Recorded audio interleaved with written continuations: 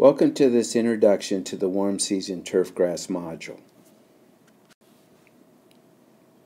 Warm season turfgrasses are grouped into the two subfamilies, Eragrostoideae and Panicoideae in the family Poaceae.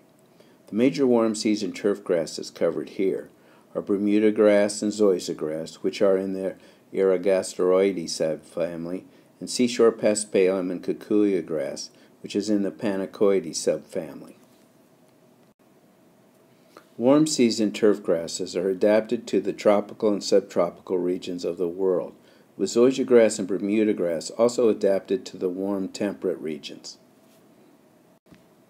Through the midsection of this map, you can see in more detail the climatic zones associated with subtropical and tropical climate. In the first module on the Introduction to Turf Grasses, the interactive section entitled Climatic Zones of Turfgrass Adaptation you can identify some of the zones where warm season turf grasses are found. In this table, a comparison is made between the optimum temperatures for growth of a cool season turf grasses compared to those of warm season turf grasses. As might be expected, the optimum temperatures for growth of warm season, or C4 grasses, is considerably higher. Warm temperatures and sunny conditions are most desirable for warm season turf grasses. In contrast to cool season turf grasses that have various growth habits, the warm season turf grasses discussed in this module each spread by tillers, rhizomes, and stolons. Although there are several factors in the adaptation of warm season turf grasses, shade is an important one. Warm season turf grasses do not have the shade tolerance of cool season turf grasses. However, there are relative differences among the warm season grasses with regard to shade tolerance. Bermuda grass in general is the least shade tolerant.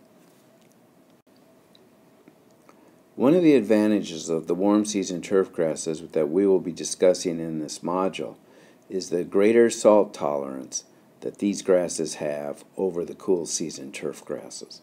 Seashore paspalum is the most salt tolerant of the turf grasses and actually is considered a halophyte, a salt loving plant.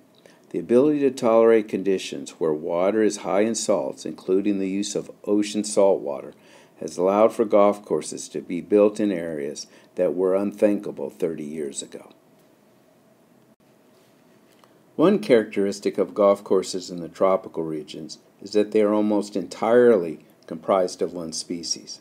We will see where warm season turf grasses may be mixed with cool season turf grasses in climate zones like the Mediterranean, but for the most part, Golf courses in tropical regions consist of one species, which is in contrast to cool season turfgrass golf courses that use a variety of species. This concludes this brief introduction to warm season turf grasses.